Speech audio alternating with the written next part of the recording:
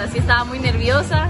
Hubo partes de la prueba que sé que puedo mejorar. Es mi primera vez en unas Olimpiadas, así que hay mucha presión, muchos nervios, pero también mucha ansiedad por competir, muchas ganas de, de mejorar y disfrutar la experiencia. Entonces la verdad es que estoy muy feliz.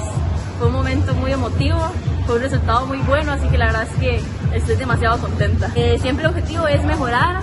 Eh, por dicha logré mejorar mi tiempo más o menos segundo y medio, que la verdad es demasiado, estoy demasiado contenta con ese resultado. El otro objetivo era quedar de primera en el ranking centroamericano, que también se logró.